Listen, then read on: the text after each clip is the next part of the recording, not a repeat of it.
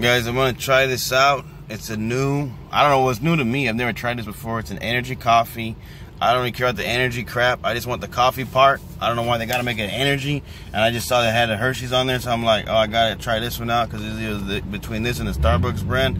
So uh, the Starbucks brand was like 50 cents more, so you know I'm cheap. So I gotta go with this one. It's got Hershey's in it, and it's good. It looks better. It's healthy for you. Got the nutrients for your daily vitamin B, C, and double D. You know what I'm saying? Jarred 333 tweet, tweet, tweet. Get it, get popping, get money every day. Make sure to subscribe. Donate hundred dollars in the donation uh, PayPal link in the description. Let me try this out. So I'm gonna open it. It has like this middle part in there. So it's like a can inside. So I'm just gonna pop it open and then I guess I don't know what the hell. What's the point of this if you if you got like a can right here? I don't understand. Like, am I supposed to shake it? I'm gonna shake it anyways. Hope it doesn't like it doesn't have the fizzy bubbly, so it doesn't pop like a sprite. But I'm gonna open it. So far it looks like coffee. Let me try it out.